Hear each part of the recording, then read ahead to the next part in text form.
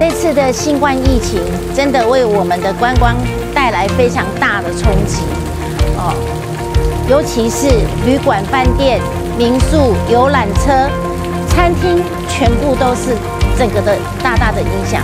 还有我们的导游领队也都没有团可以带。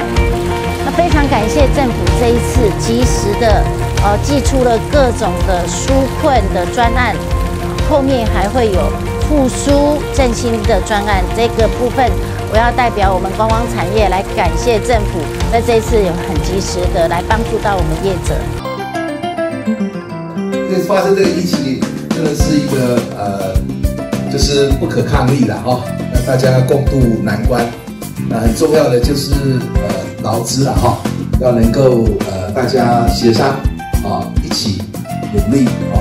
那我相信呃度过这个难关之后，大家会有更好的向心力。时间是最宝贵的，呃，利用这个阶阶段，大家沉淀啊，也充电。那最好是能够赶快让大家有生意做。好，你社区非常棒。我想这个是呃我们政府现在的努力重点。加油！振兴观光。非常感谢这次呢，交通部观光局呢提供这一次的这个活训练活动啊，让我们的旅行社的从业人员呢，在这个疫情的期间啊，还可以有这样受训的课程，增进我们的这个基本知识。除此之外呢，也呃有利相关台湾的地理啊、台湾的历史以及一些观光资源概要的部分，也是对我们这个旅游业旅行社的从业人员呢，相当好的一个培训的内容。我们的工作突然就。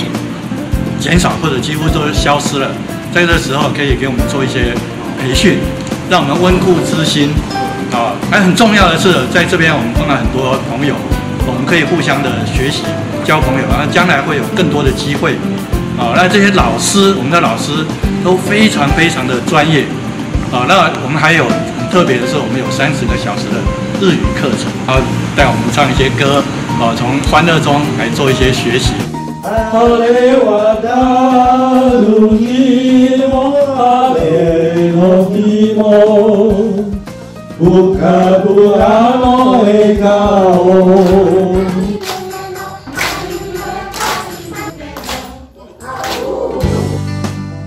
那我们今天到牛耳的度假村，那在这边一些生态的解说，它它整个形成的过程，哦，真的非常感动。